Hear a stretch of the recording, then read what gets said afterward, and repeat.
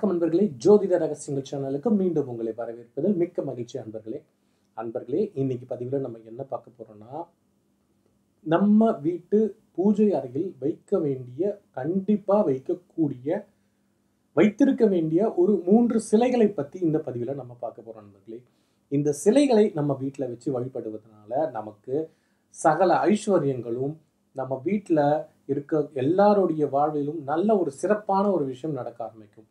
அப் அது என்ன அந்த மூன்று சிலைகள் அப்படின்றது தான் இந்த பதிவில் நம்ம தெரிஞ்சுக்க போகிறோம் சரிங்களா? வாங்க பதிவில் போகலாம் நம்ம குடியிருக்க வீட்டில் இப்பொழுதெல்லாம் பார்த்தீங்கன்னா பூஜை அறைன்னு தனியாக ஒரு அறை கட்டி விடுறாங்க. இப்போது பொதுவாக புதுசாக ஃப்ளாட் வாங்குறதும் சரி இப்போ வீடு வாங்குறதுனாலும் சரி பூஜை அறை இல்லாமல் கண்டிப்பாக வீடுகள் இருக்காது.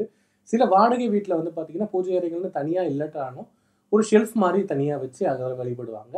அது அதையும் சில வீட்டில் வந்து பார்த்தீங்கன்னா அங்கேயும் இடம் இல்லாத சமயத்தில் ஒரு சின்ன மரப்பலகையில் வந்து நம்மளுடைய சின்னதாக ஒரு ஷோகேஸ் மாதிரி செஞ்சு அதில் வச்சு நம்ம வழிபாடு செஞ்சுட்ருக்கோம். ஆனால் எப்படி இருந்தாலும் பூஜைன்றது நம்ம வீட்டில் தினசரி நடக்கக்கூடிய ஒரு விஷயம். அப்படி இல்லாத பட்சத்தில் பூஜை அறை என்றால் அதில் அனைத்து தெய்வங்களினோட படங்களும் நம்ம வீட்டில் இருக்கும் என்பது அனைவருக்கும் தெரிஞ்ச விஷயம்தான். பெரும்பாலான வீட்டில் உள்ள பூஜை அறைகள் பல தெய்வ சிலைகளால் அலங்கப்பட்டிருக்கும். பலரும் பலர வித்தியாசமான அழகிய தெய்வ சிலைகளை வாங்கி வந்து அவங்க வீட்டில் வச்சு பூஜை வச்சு வழிபடுவாங்க.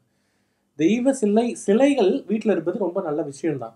அதிலும் இந்த இப்போ நான் சொல்ல போகிற மூன்று சிலைகள் உங்கள் வீட்டில் இருந்துச்சுன்னா உங்களுக்கு அதிர்ஷ்டம் ஐஸ்வர்யம் மற்றும் வாழ்வில் வந்து இப்போ நோயற்ற ஒரு தன்மை. இப்படி எல்லா விஷயங்களும் உங்களுக்கு வந்து சேரும். அது என்னென்னன்றது பார்ப்போம். அதாவது மஞ்சள் அப்படி இல்லைன்னா தங்க முலாம் பூசப்பட்ட விநாயகர் சிலையை வீட்டில் வைத்து வழிபட வேண்டும். ஓகேங்களா? மஞ்சள் அப்படி இல்லைன்னா தங்க முலாம் கோல்டு கலரில் இருக்கும் விநாயகர் ஓகே அப்படிப்பட்ட ஒரு விநாயகர் சிலையை வாங்கி வந்து இல்லைன்னா சந்தன கட்டை இல்லைன்னா சந்தனம் இல்லைன்னா வந்து சாரி மஞ்சள் மஞ்சள் பூசி விநாயகர் இல்லை மஞ்சள்லேயே செஞ்சுருப்பாங்க விநாயகர். அது நிறைய இடத்துல வந்து இப்போ விற்கிறாங்க அப்படி மஞ்சளில் செஞ்ச விநாயகர் அப்படி இல்லைன்னா தங்க முலாம் பூசப்பட்ட விநாயகர் சிலை வைத்து வீட்டில் வச்சு வழிபடும் போது நமக்கு வந்து பார்த்தீங்கன்னா வீட்டில் இருக்க வாஸ்து தோஷம் இதுவாக இருந்தாலும் நீங்குங்க. இப்போ ஒரு வேளை உங்கள் வீட்டில் வந்து ஏதாவது ஒரு மூலையில் வந்து தப்பாக வந்து நீங்கள் இடத்த கட்டியிருக்கீங்க அப்படின்ற மாதிரி ஒரு நிலைமை இருக்குது இல்லைன்னா வந்து ரூமோடைய வாசக்கால் வந்து சரியாக இல்லை. இல்லை வீட்டில் வந்து ஒரு கிச்சன் வந்து மாற்றி இருக்குது இப்போ வந்து போர்வெல் வந்து தப்பான இடத்துல நோண்டிருக்கு இப்படி சில விஷயங்கள் இருக்கும் இல்லையா? இப்படி எந்த விஷயங்கள் இருந்தாலுமே சரி இந்த சிலையை உங்கள் வீட்டில் வைத்து வழிபடும் போது உங்களுடைய வீட்டில் இருக்கக்கூடிய வாஸ்து தோஷம் அனைத்தும் நீங்கும். இதனால் உங்கள் வீட்டில் ஐஸ்வர்யம் செல்வம் வந்து சேரும். இது முதல் விஷயம். சரிங்களா? முதல் சிலை. ரெண்டாவது ஆலமரம் மாமரம் அப்படி இல்லைன்னா வேப்ப மரம். இந்த மூணு மரத்தினால செஞ்சப்பட்ட ஒரு விநாயகர் சிலையை பூஜை அறையில் வச்சு நீங்கள் வழிபடுவது ரொம்ப விசேஷம் நண்பர்களே ஓகேங்களா? இந்த சிலையை உங்கள் வீட்டில் வச்சு நீங்கள் வழிபடும் போது உங்களுக்கு ஏற்படக்கூடிய வாழ்வில் ஏற்படக்கூடிய அனைத்து வகையான பிரச்சனைகள் தடைகள் இது அனைத்தும் நீங்கி உங்கள் வாழ்க்கையில் சந்தோஷமும் மகிழ்ச்சியும் அதிகரிக்கும் என்பது நிதர்சனமான உண்மை நண்பர்களே. ஆனால் நீங்கள் வாங்கக்கூடிய அந்த மர விநாயகர் இந்த நான் சொல்லக்கூடிய இந்த மூன்று மரத்தில் செய்யப்பட்ட விநாயகர் சிலையாக அது இருக்க வேண்டும்.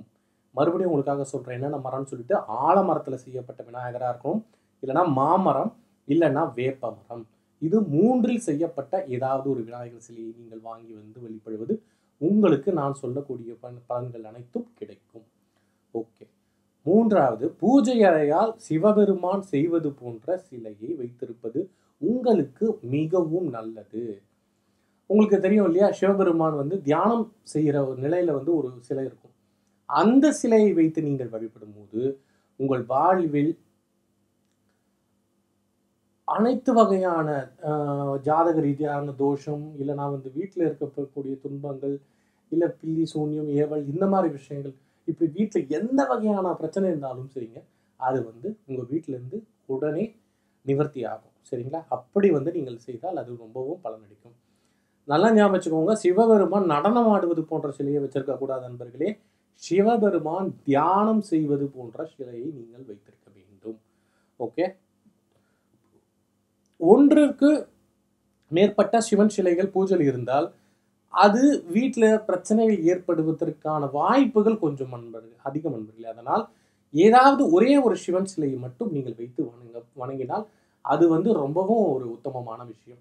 ஏன்னா சிவனை வைத்து நீங்கள் வழிபடும் போது அதற்கு தினசரி நீங்கள் வந்து கண்டிப்பாக பூஜை செய்தாகணும். அபிஷேகம் முடிந்தால் நீங்கள் செய்ததும் ஆகணும். ஸோ அதனால ஒரே ஒரு சிலையை வைத்து நீங்கள் வழிபடுவது ரொம்பவும் சிறப்பான பலன். ரெண்டு மூன்று சிலைகள்லாம் வச்சு வழிபட வேண்டாம் நண்பர்களே. அது வந்து அவ்வளவு சரியாக இருக்காது. அதுக்காக தான் இந்த கோரிக்கை உங்களிடம் வந்து நான் சொல்கிறேன் ஓகேங்களா? இப்போ இந்த இப்போ மூன்று சிலையை பற்றி சொல்லிட்டேன். இந்த மூன்று சிலையை நீங்கள் இப்பொழுதே வைத்து வழிபட ஆரம்பிங்கள் உங்கள் வாழ்க்கையில் வந்து ஒரு நல்ல மாற்றம் ஏற்பட துவங்க ஆரம்பிக்கும். ஓகேங்களா?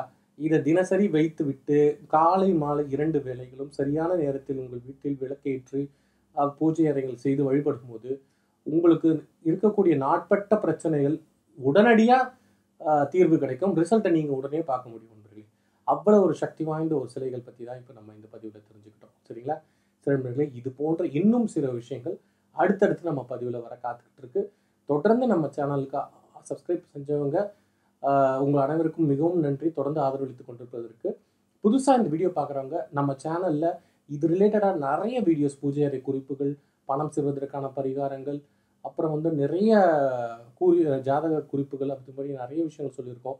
அதெல்லாம் போய் பாருங்கள் உங்களுக்கு ரொம்ப பிடிக்கும். இந்த வீடியோ உங்களுக்கு பிடிச்சிருந்தா லைக் பண்ணுங்கள் உங்கள் ஃப்ரெண்ட்ஸ் அண்ட் ரிலேட்டிவ்ஸ் எல்லாருக்கும் சேர்த்து இந்த வீடியோவை பகிர்ந்துக்கோங்க. அவங்களும் பார்த்து பலனடையட்டும். நன்றி வணக்கம். சிவாய நம ஓம் நம சிவாய்.